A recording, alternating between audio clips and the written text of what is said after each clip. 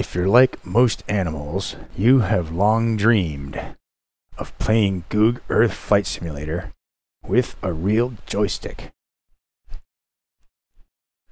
Problems happen when you try actually running Goog Earth Flight Simulator. You go in to options, navigation, you find non-mouse controller. And in here it says enable controller, and that's pretty much it. In older versions, they used to have an option for a joystick. That got taken away. They never really supported joysticks in Linux at all. There were uh, random artifacts from the Windows version of Flight Simulator that had joystick-like parameters if you search through the op directory, but it was never supported, and it never will be. So what the Lion Kingdom devised was a program called Goog HOTAS. And when you run this, it reads events from a joystick plugged in to a computer and it converts those events into key press and mouse events as if you were actually typing and using a mouse. So let's start up Flight Simulator. Control A. And let's pause it. And as you can see, we're over some random part of the ocean. With Goog HOTAS running, you see we have part of the heads-up display highlighted by a box. It's actually capturing this region of the heads-up display. Before we can use the joystick, we have to center the box over this user input section of the flight simulator. And we have controls to resize the box. And we also have controls to adjust the mouse sensitivity. The problem is, when Goog HOTAS is running, you can't touch the joystick when the Xterm is active. You have to activate the flight simulator window before you can touch the joystick. Otherwise, you'll send false key press events into Goog HOTAS and you'll crash it. So now with the flight simulator window active, Goog HOTAS running, when I move the joystick, it's sending false mouse events into the flight simulator. When I move the throttle, it's sending false key press events as if someone was telling it to actually adjust the throttle.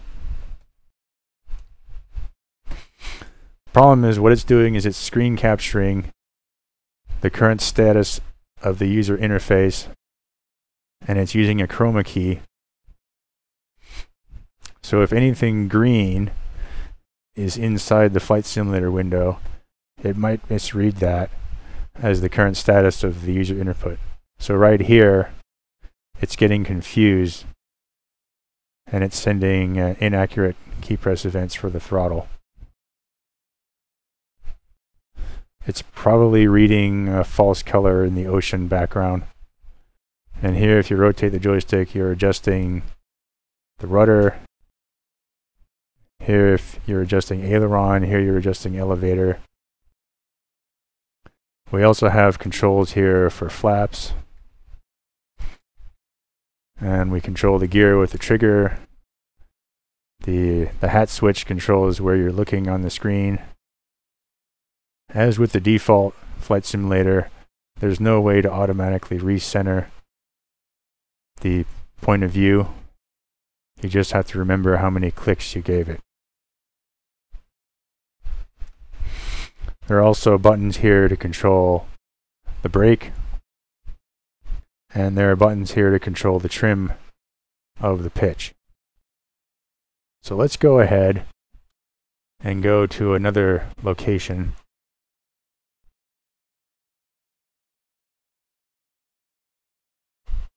The best place to fly in Goog Earth was always Bergen, Norway. It had lots of canyons to fly around. It had lots of three-dimensional buildings. So if we zoom in on this, hit Control A, center the mouse, then we pause it, then center the mouse, capture the mouse,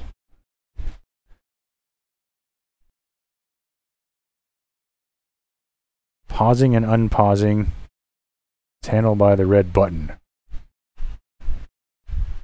There it goes. Let's raise the flaps. Another control is this paddle switch. Adjust the yaw trim.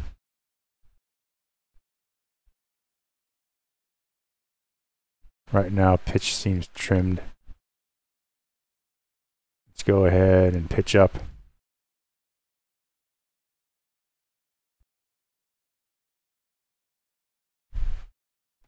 Throttle up. This may or may not be easier than flying with the mouse and the keyboard. At least for controlling throttle and trimming, it's much easier. But the aileron and the elevator with the joystick tends to be a little finicky depending depending on how much mouse gain you've set. So let's do a real slow pass with the flaps at full and the gear lowered.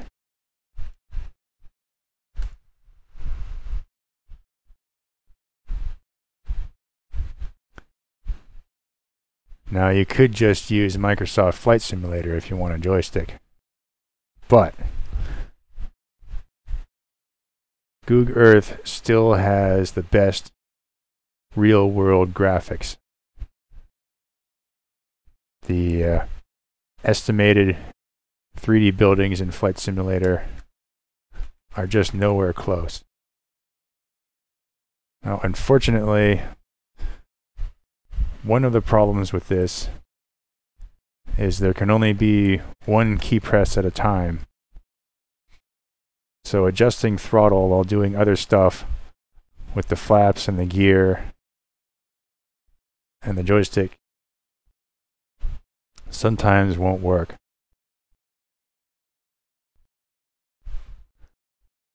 And that's along with other problems where the X server will just suddenly stop accepting keyboard input from the Goog HOTAS emulator. So we're going to try again. Trying to slow down with gear and flaps flare through this canyon.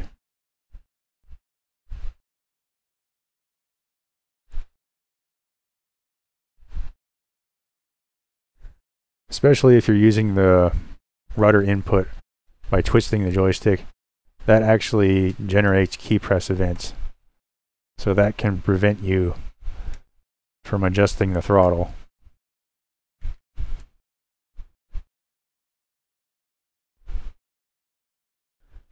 Most of the time you don't notice it.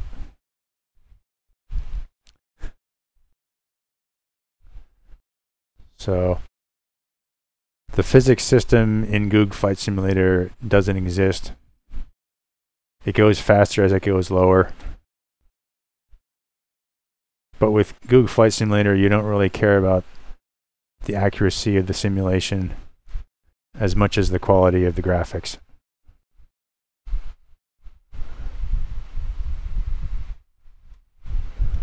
So let's slow down. Let's fly through some buildings.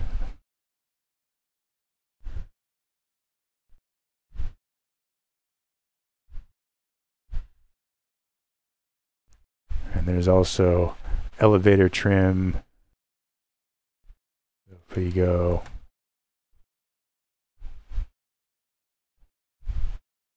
can hit the elevator trim buttons X and O.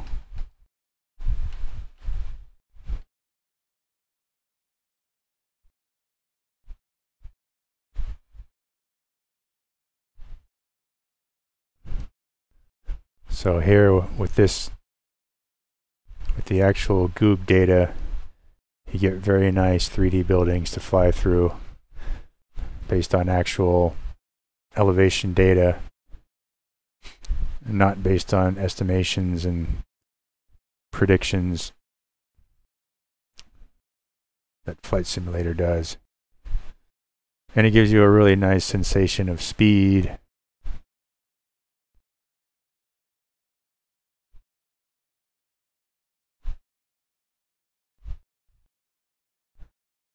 So now we're going to try to land at the airport.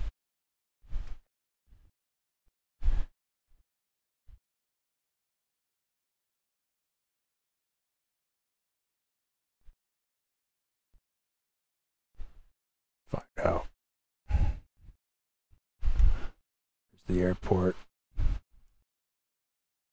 It's tricky to slow down because Google Flight Simulator doesn't doesn't have any actual spoilers or speed brakes. It just has gear and flaps. So you're trying to simulate an air brake with the gear and the flaps.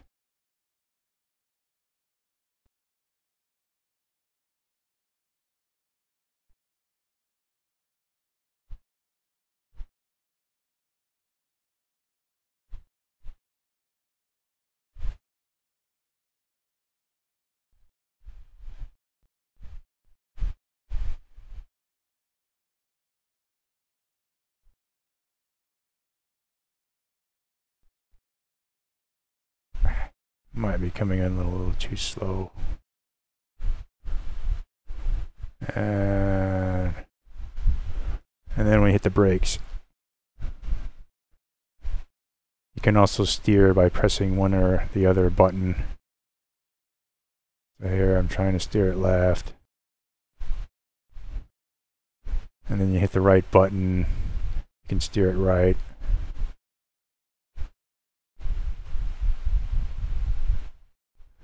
And then you can throttle up. It might have missed one of the uh, speed brake button presses, so it might pull to the right. And then you can look behind you. Raise the gear.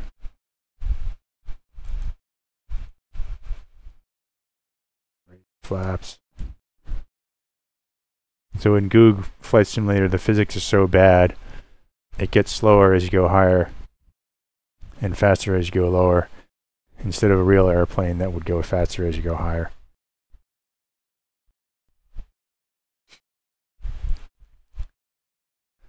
So despite a few artifacts where it misreads the heads-up display and the user input status, it's overall a better experience than flying with the joy flying with the keyboard.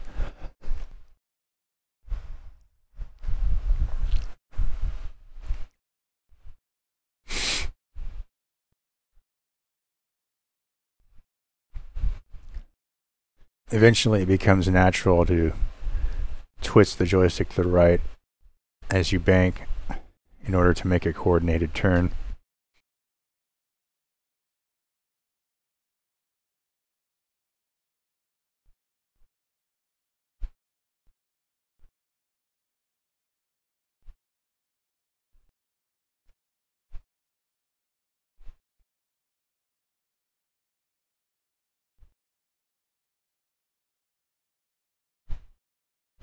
One of the things lions used to do is land in this tiny lake here. Because in Goog Flight Simulator, you can land on water, you can fly underwater. Let's see it picks up the throttle inputs. So sometimes you get strange keyboard artifacts where it won't pick up any throttle inputs.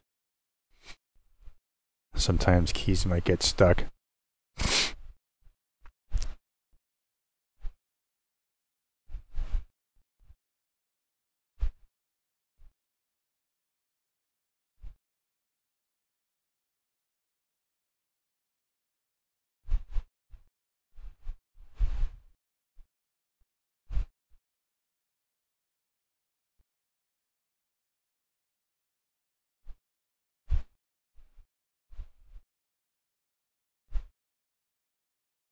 If you're really good, you can land on top of these hills.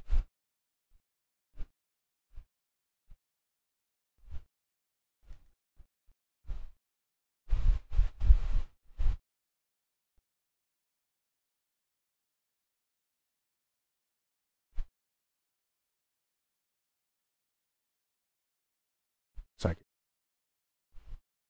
crashed into the water. So that's Goog Earth Flight Simulator with the T-Flight HOTAS. And as always, I hope you learned something.